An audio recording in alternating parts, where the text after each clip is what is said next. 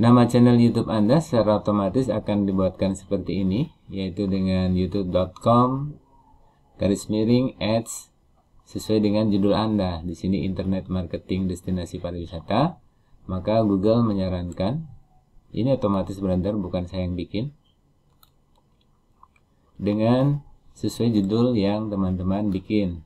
Nah, sekarang bagaimana untuk merubah atau membuat suatu channel ini lebih mudah untuk dikenal. Kita klik customize channel. Ini masuk ke YouTube Creator. Kemudian pada basic info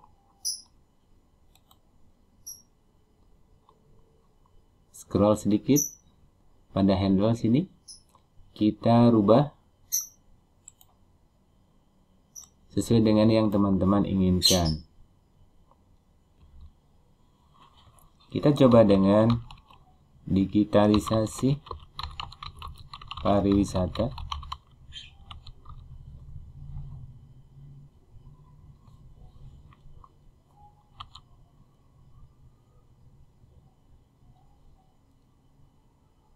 Perhatikan ejaannya digitalisasi pariwisata nyambung aja ya jika di sini ada centang hijau, artinya handle available.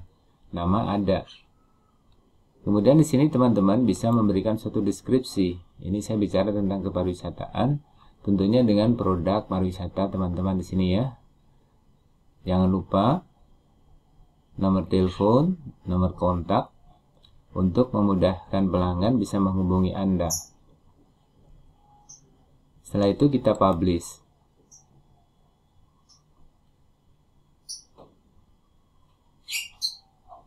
Kita lihat perubahannya. Go to channel. Dia akan secara langsung memberikan suatu nama sesuai dengan yang kita inginkan. Terima kasih YouTube. Selanjutnya silahkan teman-teman upload untuk video karena di sini adalah betul-betul masih new, baru.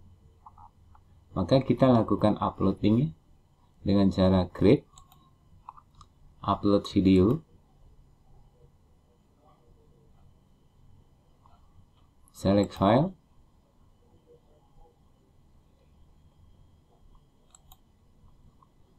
Pilih penyimpanan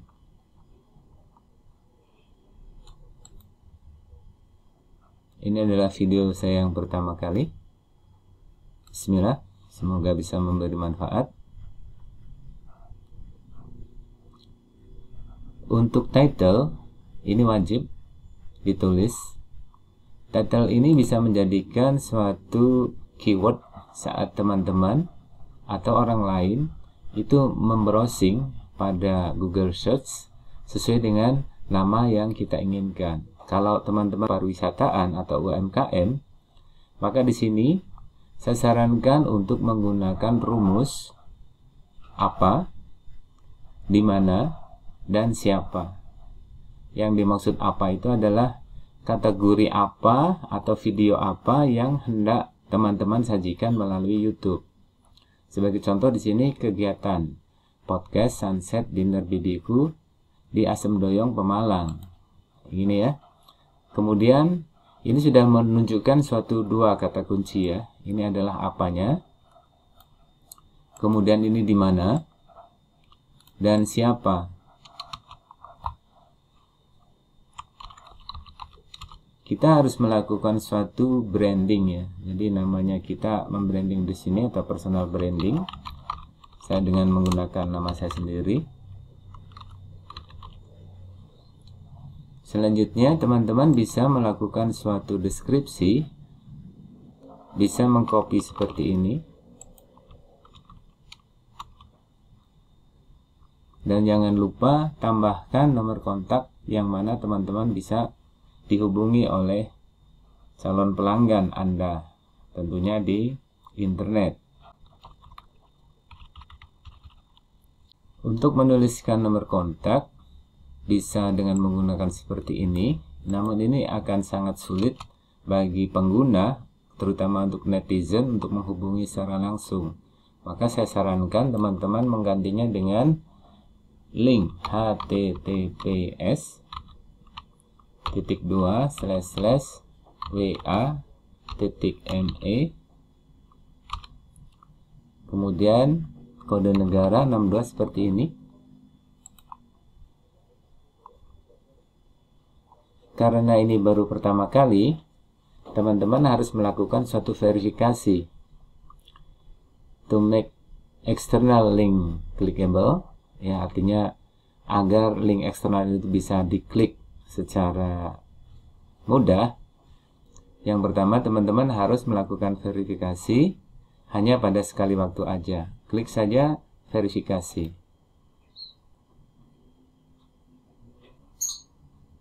Klik next. Selanjutnya pilih use video verification. Klik next klik verify.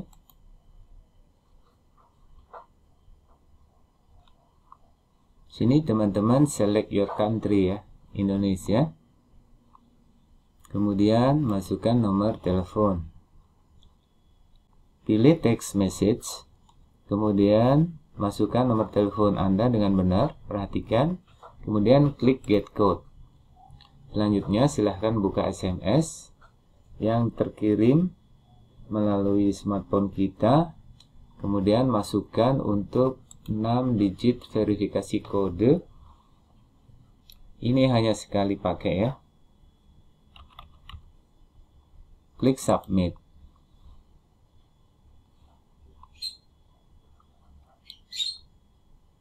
Selamat telepon Anda sudah terverifikasi. Kalau sudah demikian silahkan di sini ya klik next lagi. Kemudian kita klik lagi untuk verifikasi your phone get email.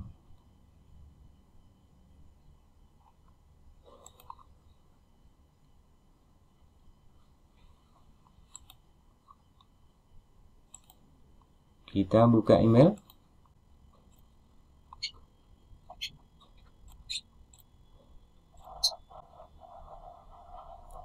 start verification. Sini kita minta untuk di scan ya men-scan. Jadi menggunakan handphone. Ya sedikit ribet hanya pertamanya aja. Di dalam handphone setelah kita scan muncul seperti ini. Agree to video verification. Scroll ke bawah.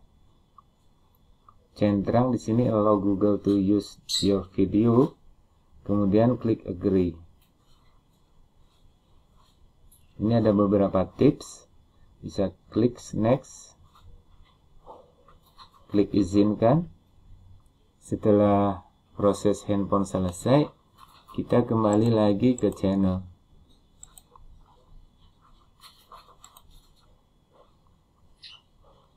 Ya ini kita langsung next aja. Nanti bisa kita edit. Jadi untuk mengeditnya seperti ini brother back aja selanjutnya ambil thumbnail. Jangan lupa untuk playlist ini di teman-teman bikin ya. Create playlist baru. Kita kasih judul podcast sesuai dengan materi konten video. Kita klik create. Done. Untuk audiens perhatikan di sini pilih untuk bukan untuk digunakan anak-anak nih. Jadi video ini bukan dibuat untuk anak-anak. So more ini teman-teman bisa mengcopy seperti ini.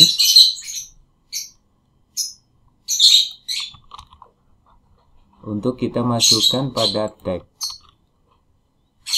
Nah untuk menggunakan video sesuai dengan video yang kita bikin. Kita menggunakannya Indonesia bahasa Indonesia. Kapan direkam? Pilih today hari ini.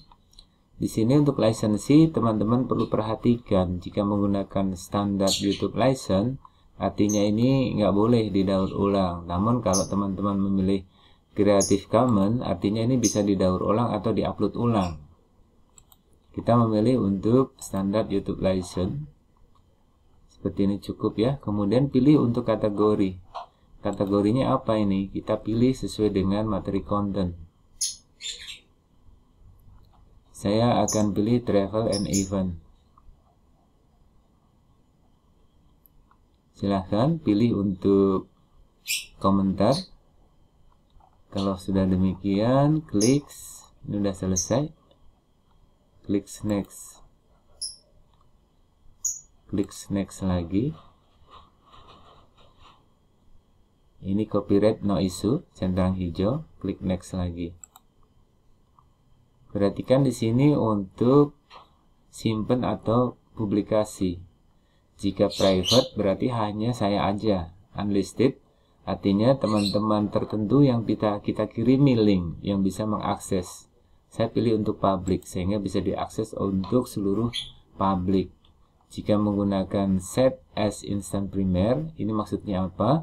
Ini ketika kita mengeklik uh, instant premier, Anda dengan beberapa viewer itu akan bisa melihat secara bersama-sama dengan waktu yang sama. Contoh misalnya akan kita buka pada pukul 12 nanti lalu kita share ke grup atau WhatsApp mari kita tonton bareng-bareng jam 12 itu maksudnya seperti itu.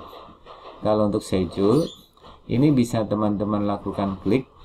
Jadi misalnya kita untuk lihat ya kapan target audiens kita itu menonton video. Kan nggak mungkin ya orang menonton video itu pada jam kerja. Maka untuk schedule-nya ini kita buat selepas mereka istirahat. Misalnya jam 12 atau jam 4 sore. Atau jam 5 sore atau jam setengah 7 jadi setelah mereka sholat maghrib. Atau bahkan setelah mereka sholat subuh. Biasanya ada kebiasaan orang melihat YouTube terlebih dahulu sebelum melakukan suatu aktivitas. Silahkan pilih pukul 5.30 atau sesuai dengan uh, silahkan teman-teman untuk bisa mencari referensi kapan sebaiknya saya mengupload video. Kita klik publish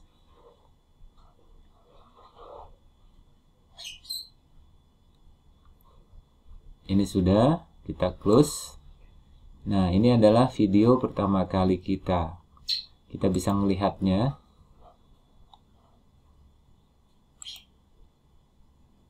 Ini masih ada satu verifikasi.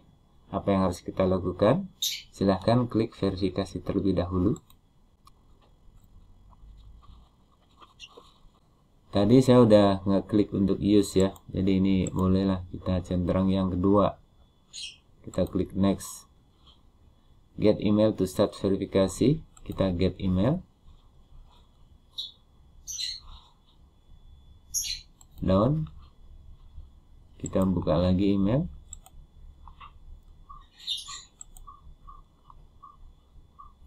Start verifikasi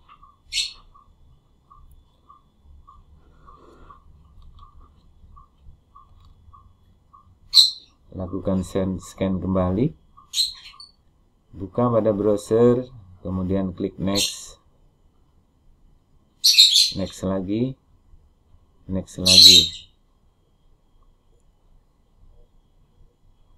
Siapkan untuk nomor identitas Anda. Jadi Google ini sekarang nggak main-main ya. Jadi harus menggunakan KTP ya karena kita itu tidak main-main artinya bukan channel yang abal-abal kita keluarkan saja dan nggak usah berpikir bahwa akan ada penyalahgunakan dengan nomor identitas kita.